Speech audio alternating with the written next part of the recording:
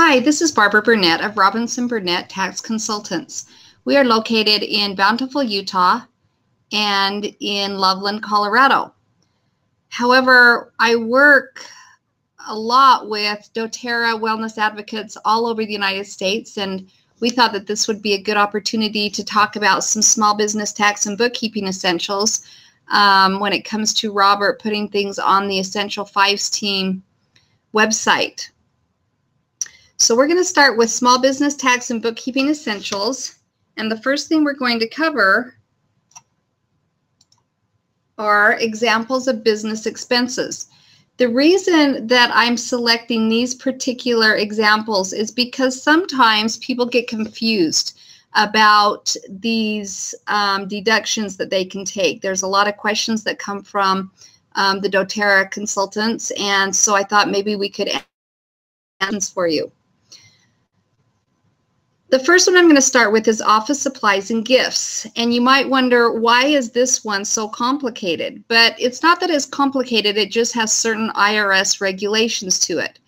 Now, of course, you're going to say, I know what an office supply is. It's, you know, pens, papers, laser, um, you know, cartridges, you know, all those things that go with office supplies. But sometimes um, when when you buy a gift uh, for you know either a um, one of your colleagues or one of your downlines or recruit then you might be taking it out of your office supplies. Let's say that you bought some nice pens or something and you want to give those as gifts. So you don't know which one is an office supply and which one is a gift. Well whenever you're providing any kind of intention of gifting, then the IRS regulations say that that gift is limited to a $25 deduction. So I'm going to give you an example. Um, I had a client who was so excited because he had given his um, recruit team, recruited team, um, some nice watches, and he didn't think that was any big deal. Um, he bought them, you know, um, when he was at you know some office supply store somewhere and thought oh i'm just going to go ahead and give these as gifts. Well it ended up that the watches were $60 so he thought okay fine i can just run it through as an office supply. When actually anytime you give a gift to a client or a customer that deduction is limited to $25 per recipient. And by the way a recipient includes a husband and wife so him being all excited, thinking this was going to be, you know, not a big deal, and he thought, oh, I'll just switch it from office supplies into gifts, was not the way it was treated. We had to include only a deduction of $25 per watch. So you need to think about that. If you're giving gift cards, gift certificates, whatever to customers, make sure that the increments are only in $25 um, gift card so that you can stay in line with the IRS code. Now, let's say that you say, I don't really care, Barb. Um, I'm still going to, you know, go ahead and, and buy a $60 watch for my customers, or I'm going to buy a $40 aroma um, diffuser, whatever and that's just the way it is, then we can most certainly do that. Just know that you can only deduct $25. The rest is actually would be considered um, part of your net income. In other words, it's not a deduction. Okay, let's go to cell phone plan. The uh, reason that this is always a big question is um, people say, okay, well, you know, I use it for personal and for business. So the the key here is to always keep track and, and basically just get a gut feeling of how much cell phone you're using for business and personal. So let's say that your your bill is $120 a month and you know what? Guaranteed you're using it 90% for your doTERRA business. Then you know what? Deduct 90% of that monthly uh, cell phone plan on your tax return. The iPad, iPhone, and laptops, that's pretty, um, that's a pretty common thing that people are doing now. Um, there's several ways to take those deductions. Most of them can just be expensed uh, directly. But let's say that you have a computer that you've used in the past and now you're using it for your small business. What you can do is you can still take that deduction, but it has to be depreciated over three to five years, depending on the asset, um, versus if you would have purchased that iPad, iPhone, laptop, or desktop brand new. Um, uniforms is always a question because a lot of doTERRA wellness advocates say, hey, I just bought a new tie or a new shirt or a new dress for one of my doTERRA team building meetings. And they always think that that is a deduction. The problem is, unless it has your company logo or the words doTERRA written across, you know, even if it's the sleeve or um, the neck part of the shirt, um, you cannot deduct that clothing. The IRS does not allow that deduction if it's ordinary, um, you know, attire that you would wear anywhere. Now, if your team is all wearing the same shirts and it has the doTERRA logo or it has your company logo and then some khakis and that's required in the uniform, then those khakis would also be a deduction. Uh, home office expense are the expenses that are um, attributed to having a home office. Um, and I highly encourage all small companies, all small business owners to have an in home office, especially if they don't have one outside of their home, because that means that they can deduct their uh, utilities, their internet, and even depreciate some of the home.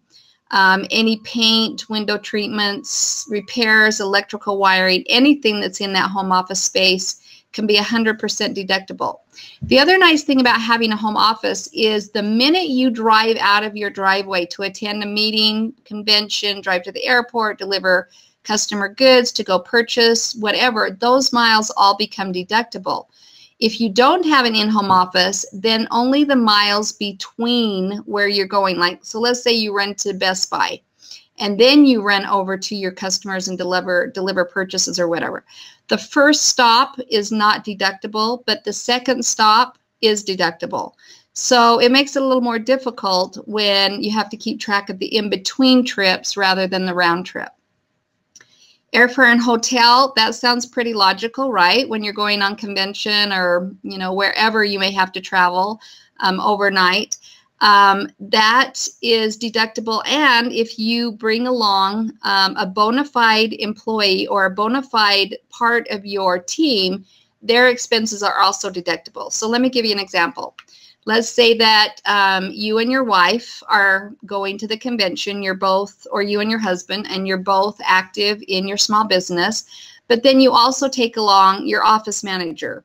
Or let's say you have um, your accountant, which would be me, and you say, hey, Barb, we want you to come and learn more about our small business, then all three of our travel and hotel expenses would be deductible as long as the business, as long as the trip was for business purposes. Um, the fee for setting up an LLC or an S corporation, which I encourage all small businesses to do, especially to set up an LLC because that gives you liability protection, is a write off. Um, any product purchases and samples that you buy and give to customers or um, use to sell, whatever, those are all also a deduction or part of inventory. Um, storage units, a storage unit, if it's used primarily for business, is a deduction say that you purchase a small uh, shed type storage unit that you put in your backyard and you primarily uh, or 100% use that um, space for um, tools, uh, banners, uh, whatever, that storage unit is deductible. Mileage, um, actual versus allowance. Um, the actual is always a little bit trickier because you have to keep track of all things that you um, purchase for your vehicle. Um, typically, the best one to use is the mileage allowance. It's allowed the allowance this year is 56 and a half cents per mile and it kind of gives you less of a responsibility because um, the only thing you have to keep track of really is mileage. You don't have to keep track of the receipts. Team building meetings are an important item because if you rent um, like a lot of people go and rent a movie theater just for a Christmas party or your team building meeting.